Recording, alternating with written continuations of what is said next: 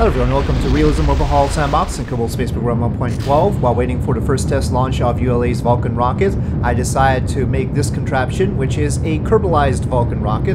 Basically, it is seven Vulcan cores strapped together so that they are cross-feeding into each other asparagus staging style, or what we used to call asparagus staging style, or maybe we still do, uh, where two of the boosters are feeding into two of the boosters, feeding into two of the boosters that feed into the core, and so two boosters will release first, and then we proceed from there.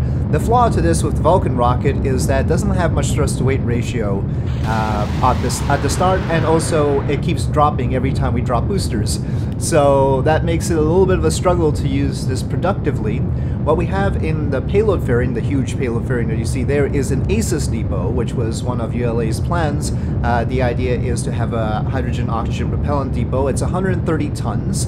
In this case, it will use some of its fuel to get to orbit. It has four RL-10s on it, and that was per the plan. Uh, in real life, uh, ULA would have actually launched it empty and then filled it up along the way. We're launching it full, and that's why we need all the boosters. Uh, so yeah, it's a little bit tough to get this to orbit because of the low thrust weight ratio, and I almost feel like it might be better if we just don't cross-feed the fuel in.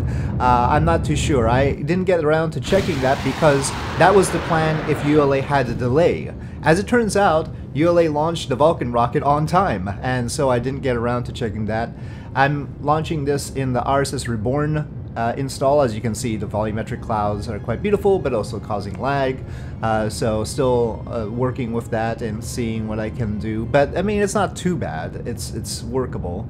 And so here the final core burns out, and we have the four RL-10s to complete orbit. So there's just a quickie video uh, explaining this particular experiment and seeing what kind of capacity this Vulcan rocket with seven cores could possibly have and we are about to find out as we see how much of the propellant in the ACES depot we actually use. So the sun shield at the top is around the hydrogen tank and then the bottom tank is the oxygen tank in this case.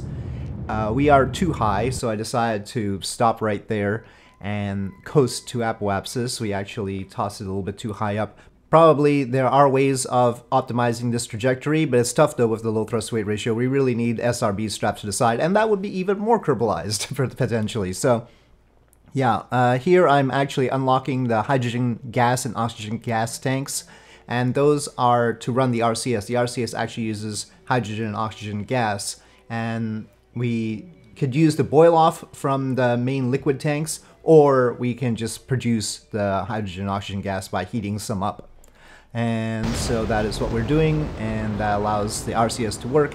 But the RCS is pretty darn weak. Uh, I'm a little bit thrown off also by the physics lag. It feels a lot weaker than it probably is because our time steps well we're taking more in real life seconds for each in-game second.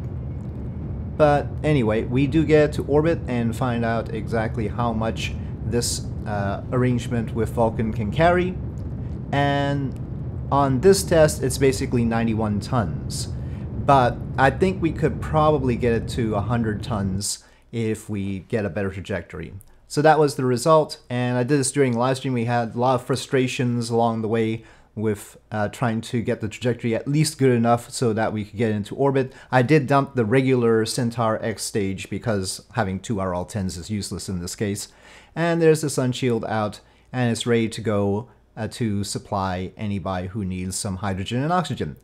So that was what I did while waiting for the Vulcan launch and my way of celebrating the success of the Vulcan launch. Uh, the Peregrine lander has had some problems, but the launch seemed quite successful. So with that, thank you for watching. I hope you enjoyed this video. If you did, please do press like. If you have any comments or suggestions, please leave them in the comment section below, and I'll see you next time.